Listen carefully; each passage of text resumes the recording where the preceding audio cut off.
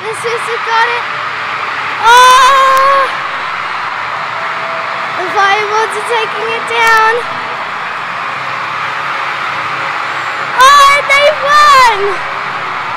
What a sensational play from two of the strongest teams in this year's Netball World Cup. And I've got to say, what about the commentary as well? Great job by our host commentators inside the Fox Sports commentary box.